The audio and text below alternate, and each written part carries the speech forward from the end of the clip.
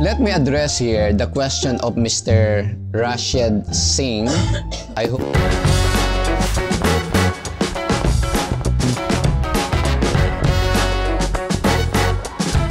With the entry of COVID, all schools and review centers were forced to stop their physical operation.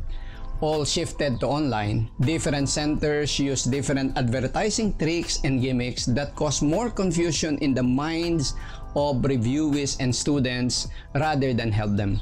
But in order to give you clear idea on what you will actually experience in our online review, we created this channel so that you will see, know, and experience firsthand how we do it online. But before we begin our discussion today, please don't forget to visit, like our FB page, Padilla Review Center. The link is found below. Please also subscribe in our YouTube channel. Please don't forget to click the notification bell. Choose all so that you will always be updated and notified regarding all our posts. Also, please don't hesitate and we will appreciate it if you will like every post that we will make.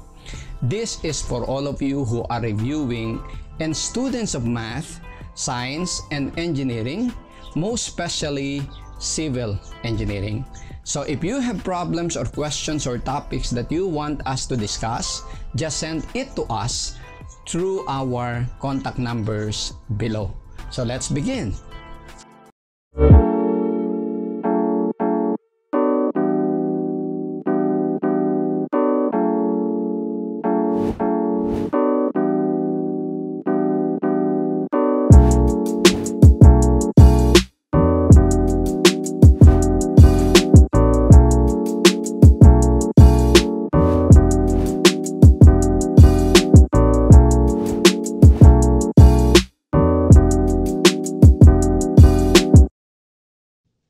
Address here the question of Mr. Rashid Singh.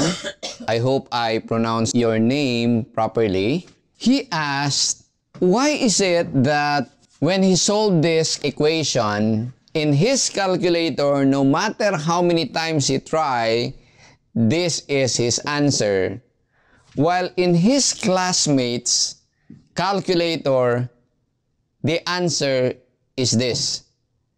So he asked help, why is it so? Actually, his answer and his classmates' answer are both half correct. Why did I say half correct? Because there are two answers to the equation. One is this, the other is this. Both are correct. Okay? But the answer must be both of them, not just one of them. Why? Now look at this. This is one thing that you must really know and understand about ShiftSolve. In ShiftSolve, your equation will give you only one root. And that root depends on the trial or guess value. Okay, for example, let us input this in your calculator.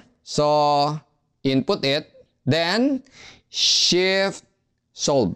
Notice that your calculator will ask you solve for x. There is a value in your calculator depending on the last x that your calculator computed. So, let us say for uniformity, all of us encode it then solve for x. Let us give our calculator a value. Let us say solve for x, 0. When I type 0, meaning I am assigning a trial value or a guess value for x equals 0, equals. So with this equation, and I try, this is my trial value, trial value, x is 0, then it will give you the actual value equal to 1.368 times 10 to the minus 3. So this is correct, right? Press equals again, solve for x. Let us give it another value, 1 equals So, your calculator will again give you 1.368 times 10 to the minus 3. Let us try again. Equals, solve for x. Let us give it x equals negative 1. Equals. It is still 1.368 times 10 to the minus 3. What about if I will give it a value of, let us say, this is very small number, no? 0.001368. Right? Let me try x is 0.002.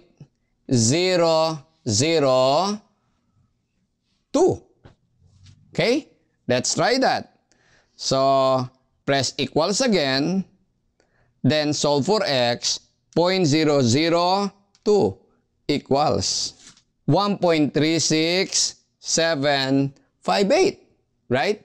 Okay. So, it is still 1.368 times 10 to the minus 3. Press equals again. What if I give it a value of 0.0025 equals 0.0025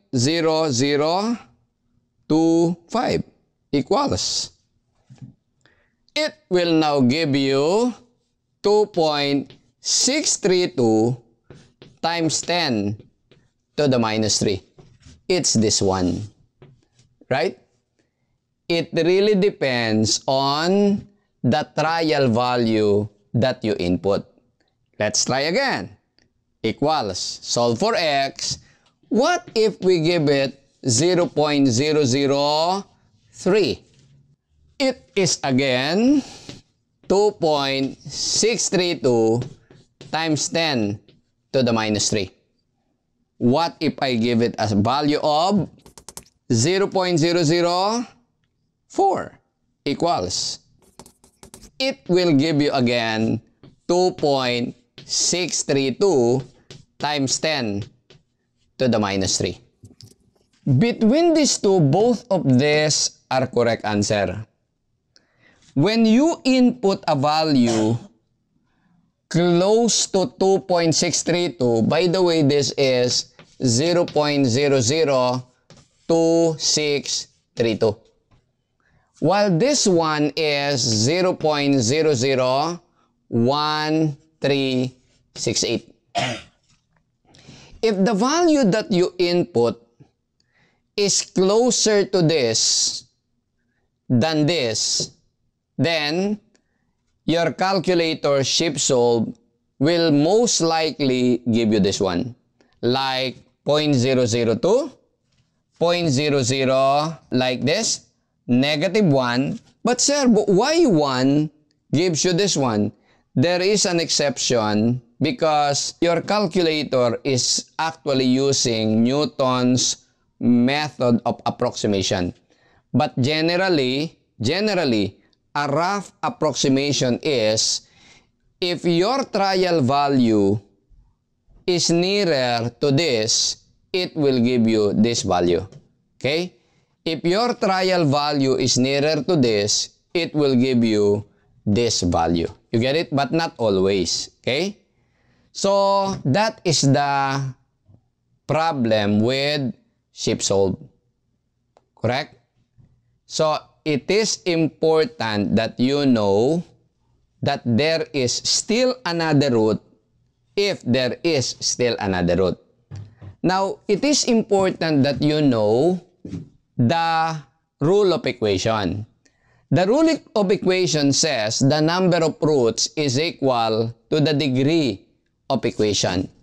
So, number of roots equals degree of equation. This equation, take note, if you expand this, this would be x squared, right? So, therefore, there must be two roots, correct? Let me simplify this. This is minus 20 over this, minus 20 over this, minus 50 times 10 to the 6 is equal to, you expand this, this is x squared minus twice the product, 2 times 0.002, that would be 0.004, plus square of the second, negative 0.002 squared. Let's simplify the equation. This is x squared minus 0.004x plus this quantity minus this quantity. Okay, so I have it 0.002 squared minus 20 divided by 50 exponent 6 equals. So this is 3.6 times 10 to the minus 6 equals 0. Let me solve this quadratic equation by using mode 5 down arrow key 1. So, mode 5 down arrow key 1. This is the key for quadratic equation. Your calculator will require you to input A, the coefficient of x squared, B, the coefficient of x, C, the constant. So, 1 equals minus 0.004 equals 3.6 times or exponent minus 6 equals equals your x1 in your calculator is 2.632 times 10 to the minus 3. Press equals again then your second root is going to be 1.3675 times 10 to the minus 3. You follow? You have this root and this root. Both of them are correct. But ShiftSolve will give you only one of them at a time. So you have to keep on trying in order to bring out the other one. Okay? So, this uh, ShiftSolve is convenient, but it is always better if you cannot make the other root appear, it is better to shift to normal quadratic equation. Okay? Or, if this is the equation, you can do a little manipulation. So, it would be easy to solve this. Okay? Like, for example, I bring this here, it will be minus 20 over minus 50 times 10 to the 6. And what is this equal to? It is equal to x minus 0.002 squared. We know that this is squared, so there are two values. So to get rid of this squared, you take the square root of both sides. Okay? Square root squared, it will cancel. But since that is squared, this must be plus and minus. So therefore, there is no more squared, there is no more square root.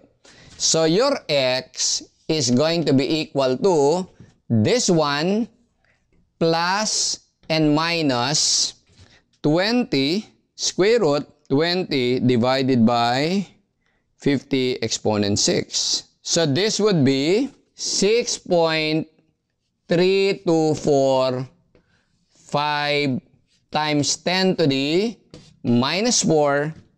Bring point negative 0.002 here. So this would be plus 0.002. If you take this plus this one, your x is going to be 2.632 times 10 to the minus 3. You follow? While if you take minus this plus this, you'll get x is 1.3675 times 10 to the minus 3. So you can also use this. Remember, if you get the square root of squared, it must be plus and minus. You follow? You get it? To meet the requirement of number of roots equals degree of equation. You follow? Okay. There's another person who asked me, one who is taking BS Math. The same day that Ras Singh asked me this question, a BS Math student also asked me to enlighten the students or her or him about the trial or guess value. Okay? So because there are many trial values, actually, any trial value will do. But just as I said, your trial value will dictate the displayed value of your calculator. You follow? So normally, your trial value will your calculator will display the root that is nearer to your trial value. I hope I answered the question and I really am inviting you to enroll in our calculator tricks and techniques program. It is a very worthy investment for all of you uh, you will learn a lot in that program. Actually, it is composed of 30 modules, more than 600, around 660 problems solved using our calculator. So, sulit na sulit. A very worthy investment. So, the link on how to enroll is found below. Okay? So, See you. I hope I answered your question. You are always welcome to send me the questions. It is better if you will send the questions both in YouTube and also in our Messenger account or you can also send it in our Facebook account. It's easier to respond to Facebook rather than in uh, YouTube. Okay? So, see you